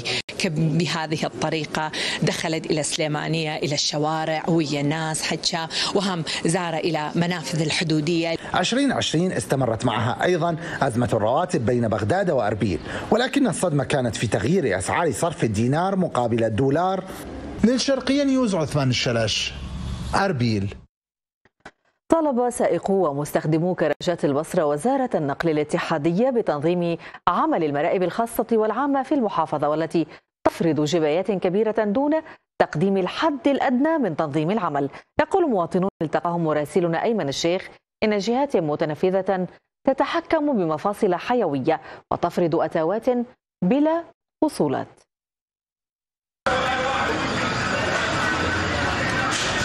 على الرغم من فرض هيئة النقل الخاص في البصرة رسوما تجبى من سائقي المركبات في المرائب إلا أنها لا تقدم أي خدمة فدورها يقتصر على جباية الأموال غير مكترثين بالواقع الخدمي تجي منك تقبط ما تقبط تجي فارغ. أربع نفرات ياخذ منك 500 دينار. زين من ياخذون هذه الفلوس؟ يعني الدينار وين جاي يروح؟ المد جاي ينط فلوس. ما حد يقدر يحكي. كلها ساكتة. اليوم أنا وياك هسه من نطلع نحكي على فلان قال شلون تطلع علينا؟ يوم ثاني تطلع عليك. الناس تشيلك. عمي الله وكيلك نص بالجيب نص الجيب بالعباس. نص تعطيني الهيئة ونص ياخذون المدير. المدير لا ياخذون معاه المدير. ماكو غيرها. المدن يربح الفلوس والزبالة. منظف بحظ ما عندنا. ولم تترك المافيات أو العصابات بحسب ما يسميها سائقو المركبات بفرض أتاوات على الداخل والخارج من المرآب الحكومي. أنا نط فلوس هنا 500 أول ما تغبط تطلع بالباب كذلك الدلال 500 هذا يسار. ألف. هي الهيئه يحاسبك على وصل خط هو جراج ما موفر لك اللي هنا رخيصه زين جاي نط فلوس إحنا وياخذون كله ما تعرف به وين ما وين. كل من يجي يستولي على جراج وقال هذا الخطوط أنا اللي حاجزها وأنا تابعه لي واللي معروفة هي الخطوط كلها راجعة لمن؟ للدولة. إذا مو للدولة إذا إذا أكو شخص مستثمر فالمستثمر يجي هو هو اللي يوقف مكان الهيئة. على ذلك تجي للهيئة تلقى, تلقى حاطين جراج يجيبون السواق وتجي تلقى دلال هنا يجي بالسواق فايش أصبحت؟ أصبحت أصبحت مافيا موجودة داخل الجراجات. وتشير مصادر حكومية إلى أن قيمة واردات المرائب التابعة لوزارة النقل تتجاوز ال 500 مليون دينار أسبوعيا. من البصرة أيمن الشيخ الشرقية نيوز.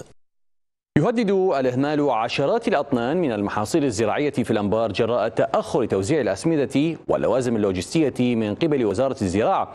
ويقول مزارعون ومسوقون إن غياب الدعم يهدد تنفيذ خطة الاكتفاء الذاتي وتوزيع مستحقات المزارعين الذين استطلع مصطفى الحامد آراءهم في التقرير التالي.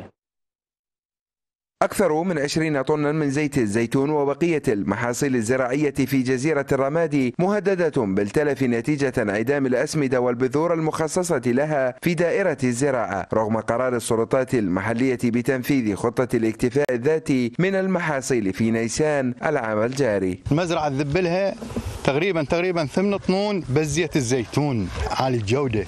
ليش أروح أستورده من الخارج وأجيبه كله مغشوش؟ أنا مو اجيبه بلادي. بس ماكو دعم. أروح على الزراعه أقول لهم يابا انطوني كيمياوي. سعر الكيمياوي غالي حيل غالي يعني فرق عن السوق 30 ألف دينار. وهذا دعم هذا؟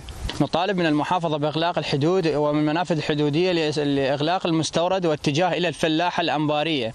تقصير وأهمال من قبل وزارة الزراعة بالتخصيصات المقررة لمديرية الزراعة في المحافظة تقول السلطات المحلية في الأنبار مطالبة بتوزيع مستحقات الفلاحين فورا. واحد من أهم الملفات اللي يجب معالجتها من قبل الحكومة المركزية موضوعة الشركة العامة أيضا لتوزيع المكان والعدد واللي اعتقد أيضا تحتاج إلى ضروره يعني مراقبة أدائها وعملها للأسف الشديد كثير من المواد اللي يتم توزيعها على الفلاحين مدى تستغل بشكل بشكل حقيقي فضلا عن عدم إمكانيتها من توفير المكان والعدد الحقيقي اللي يحتاجها الفلاح وبالذات في يعني مجالات يعني الزيتون أو غير الزيتون واللي يجب عليهم كوزارة إنه ضرورة يعني المحافظة على المنتج المحلي وعدم استيراد مثل هكذا منتجات على أقل تقدير في الفترة الحالية لغرض تطوير ودعم الزراعة.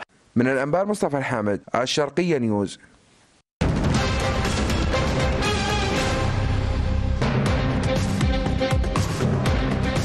مددت ألمانيا حتى السادس من كانون الثاني إغلاق الحدود مع بريطانيا وجنوب أفريقيا اللتين رصدت على أراضيهما سلالة جديدة من وباء كورونا سريعة الانتشار وفق ما أعلنت وزارة الصحة. وبدأت إجراءات تعليق الرحلات عبر القطارات والحافلات والسفن والطائرات القادمة من الدولتين حيث منع بشكل عام كافة الوافدين من الدولتين من دخول الأراضي الألمانية.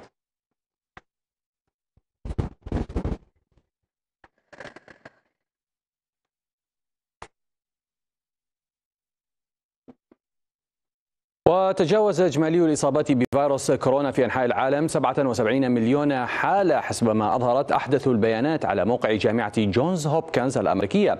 وأظهرت بيانات هوبكنز أن إجمالي المصابين بالوباء تجاوز 77 مليونا و300 ألف حالة في حين وصل عدد الوفيات إلى مليون و700 ألف حالة وفاة.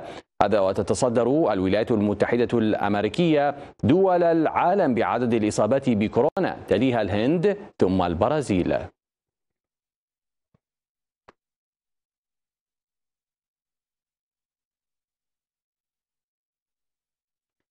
كما تجاوز عدد الذين أصيبوا بكوفيد 19 في الولايات المتحدة منذ بدء تفشي الجائحة عتبة 18 مليون شخص توفي منهم أكثر من 319 ألف بحسب بيانات نشرتها جامعة جونز هوبكنز. في هذه الأثناء أظهرت بيانات لرويترز وفاة شخص بكوفيد 19 كل 33 ثانية في الولايات المتحدة خلال الأسبوع الماضي وأودى المرض بحياة ما يربو على 18 ألفا في الأيام السبعة المنتهية في العشرين من ديسمبر كانون الأول.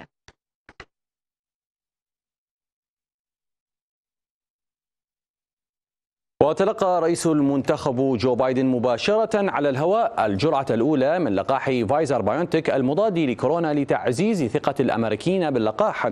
وحث بايدن بعيد تلقيه الجرعة من أو جرعة اللقاح الأمريكيين على التطعيم عندما يكون اللقاح متوفرة معلنا أن زوجته تلقت بدورها الجرعة الأولى من اللقاح. كما أفاد فريقه بأن نائبة رئيس المنتخب كاميلا هاريس ستتلقى اللقاح الأسبوع المقبل.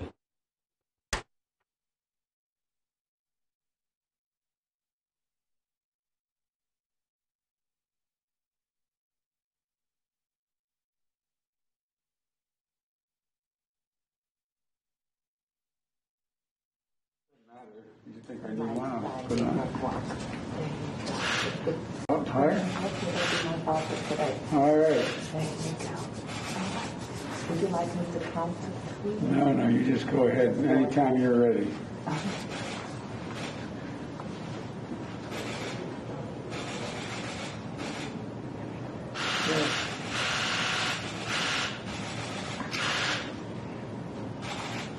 Mr. Bunny, do you expect that teacher's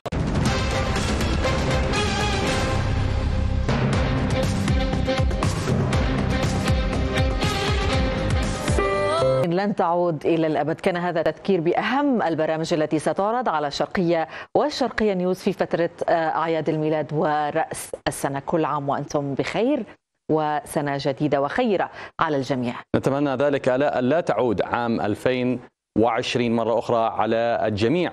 بهذا الخبر ننهي حصادنا لهذه الليلة. قدمتها أنا حسام الطائي وآلاء أبو الشملات. شكرا آلاء شكرا لك حسام وشكرا لمتابعتكم حصاد هذه الليلة. دمتم في رعاية الله وحفظه. إلى اللقاء. إلى اللقاء. Club.